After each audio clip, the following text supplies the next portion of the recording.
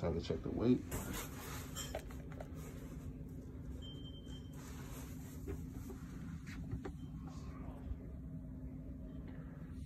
Just make sure this is correct. Time to check the weight.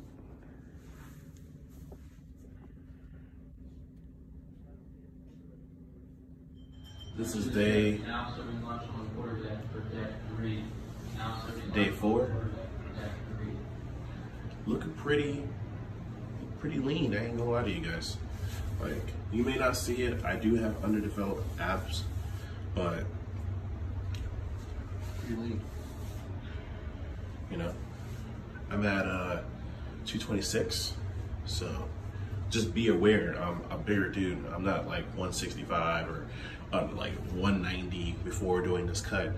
I'm like, I was like 255. I am not gonna lie. I've been in ketosis for about four days now, and my addiction is, believe it or not, Crest mouthwash. It just feels like I'm eating, but I'm really not. Just brush my teeth, but it works though. It works. I look forward to brush my teeth every fucking day. This is me smearing the food.